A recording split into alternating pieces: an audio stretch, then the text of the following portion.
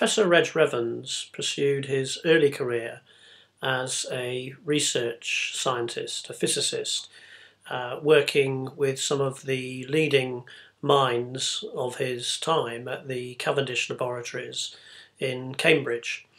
One of the significant views that he developed through this experience was that those people who were often defined by others as leading experts um, would actually achieve some of their most significant breakthroughs in terms of their thinking by not necessarily seeking to demonstrate that they were more clever than their colleagues, but actually recognizing that they were united in their ignorance. After World War II, Revans took on the challenge of formulating the education policy for the coal industry in the UK. Uh, this at the time was the largest organisation in the world, employing one million men. Revans was able to introduce some of the key thinking that he had developed in the past, particularly around ideas of, of action learning. So he believed that rather than being able to send managers um, and miners uh, away to business schools that were evolving uh, rapidly at the time, that the best way of, most practical way of developing them would be to, to bring them together in uh, what he called action learning sets, uh, small groups of people who would seek to help each other in both defining and then addressing the problems which they faced. So, by meeting on a regular basis uh, in action learning sets, they would then um, move beyond the set back to their real work situation and introduce changes um, or improvements and then report back to their action learning set to share the outcomes. So this would be a continuous cycle of, of action, reflection, and learning. But a key principle here is that the theory would follow the action, and there was always a real world problem or issue that needed to be addressed. And uh, by working together as comrades in adversity, as he referred to it, and being united in their ignorance, uh, they were often able to achieve uh, significant breakthroughs and insights which would lead to significant uh, improvements, uh, both in terms of productivity, uh, costs, technology improvements, etc. Revans clearly believed in the value of people learning with and from others rather than simply learning from theory.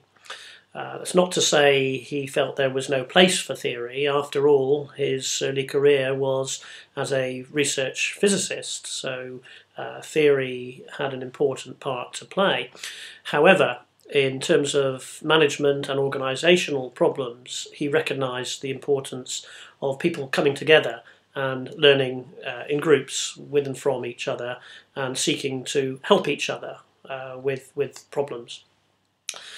So he took uh, this thinking into a number of organisations and a number of countries, in fact, and uh, achieved some great success. The Hospital Internal Communications Project was established with 10 hospitals in the London area uh, towards the end of the 1960s, and this gave Revans an opportunity to further uh, implement much of his thinking around the significance of action learning in order to address some of the very real uh, organisational management and leadership problems that these hospitals were facing. Initially, the project was greeted with great scepticism from some quarters. However, Revans recognised the fact that uh, organisations such as hospitals very much operated as a system. What he observed initially was that this was a system essentially designed around top down communication. And uh, his sense was that uh, the power of action learning came not so much from the downward communication of certainty as he saw it in the existing culture, uh, but from the upward communication of doubt. This is an interesting concept, and he could see clearly that there were barriers in terms of communication um, upwards and downwards between the uh, nursing staff and, of course, between nursing staff and uh, clinicians. Uh, he, he viewed the hospital as a system, and in, in many ways, uh, his thinking uh, predated a lot of the subsequent work uh, that has been done on the idea of the organisation as a system and systems thinking and systems theory.